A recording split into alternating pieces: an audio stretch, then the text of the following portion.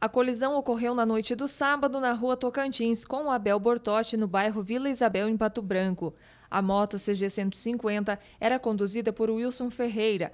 Do Gol, Paulo Arcego era motorista. O Corpo de Bombeiros socorreu o Wilson e encaminhou para atendimento médico. A Polícia Militar também esteve no local para as providências legais.